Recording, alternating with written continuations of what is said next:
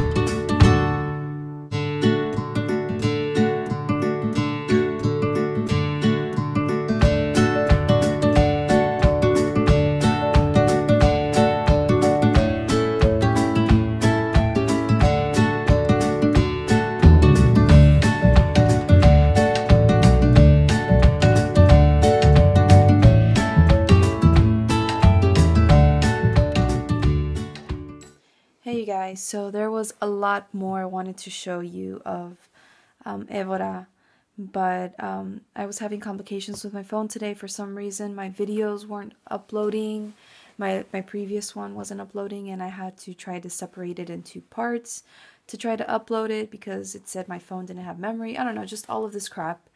And I um, was afraid of filming too much on my uh, phone today to um, that would complicate that process even more. Um, so I tried to get what I could today. Um, I missed scenes from cooking dinner with uh, my friend and having our talks with her dad. He's really nice, a nice, funny guy. He's awesome. Um, but anyway, um, it's quarter to four in the morning, and I am desperately trying to figure out how I'm gonna leave Evora tomorrow um, because it's a really small town and I need to go towards Spain, and I'm not sure if it'll be very easy to try to get out of here and go in that direction. I want to try to get to Sevilla by tomorrow evening. So what I think I'm gonna do is I'm gonna try to hitch a ride on BlaBlaCar, which is a site you can use to pay like a cheaper fare to get from one place to another. Um, so I think I'm gonna try to do that. I see that there's a woman going in that direction where I'm gonna go. So hopefully I can go with her tomorrow, and then from there um, hitch a ride the rest of the way to Sevilla. And I'm also trying to figure out about accommodation because I don't really have contacts in Spain. So I'm on couch surfing, trying to find somewhere to stay, sending all of these messages to people in Sevilla and Granada, which is where I plan on staying. And um, now I'm about to send messages to people in Madrid and um, Barcelona because I haven't had time the last few days to uh, send any messages on Couchsurfing to see about where I'm gonna stay. So I'm desperately like trying to find somewhere to stay now.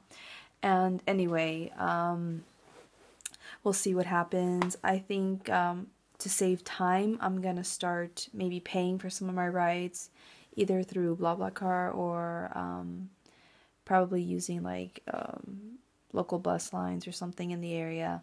I took a bus to come to Evora. It was like 12 euro 50 and stuff, but I I left uh, Lisbon really late at night and I wasn't about to try to hitch a ride there. And plus I had walked I walked almost 25 kilometers the day I explored Lisbon.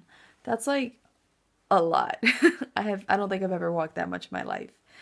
And um so yeah, to save time because I have a bit of a deadline, I need to get back to Belgium in time for the baptism of the children that I took care of.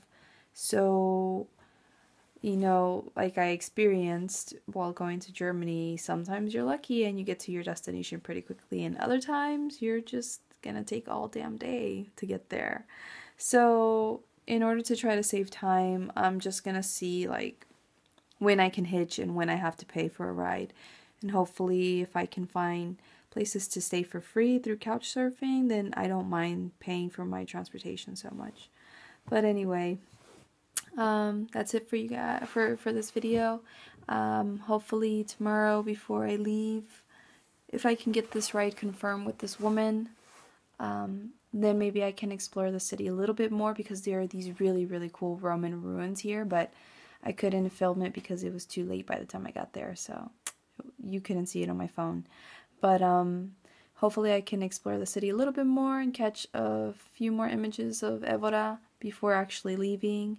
And um, what else? I will try to post as often as possible. And thank you so much for watching and for the comments, for the lovely people that have been commenting on my uh, my videos, um, and also um, to one of my followers on Facebook.